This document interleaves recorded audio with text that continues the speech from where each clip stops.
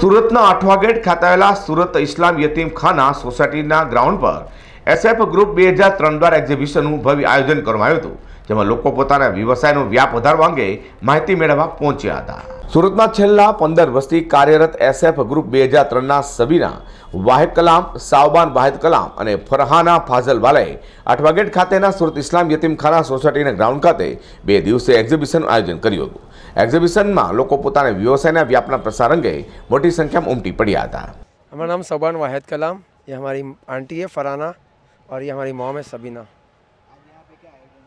यहाँ यतीम खाना ग्राउंड पे ना हमने एक एग्जीबिशन तरह का रखा था। जैसे यहाँ पे फ़ूड कोर्ट वगैरह रहता है और यहाँ पे जैसे लोग आते हैं एंटरटेन के लिए राइड्स वगैरह है और लोग का जो मतलब शोरूम्स वगैरह रहते हैं बिज़नेस के स्टॉल्स जो रहते हैं, वो यहाँ पे हम लोग ने रखा हुआ है। ऑलमोस्ट यहाँ पे सब मिलाकर है ना हम लोग का एटी प्लस स्टॉल्स अमाउंग हो गया है ना? एटी प्लस तो रहा है।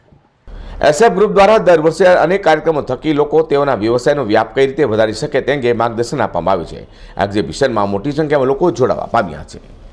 Azhar Qureshi, G twenty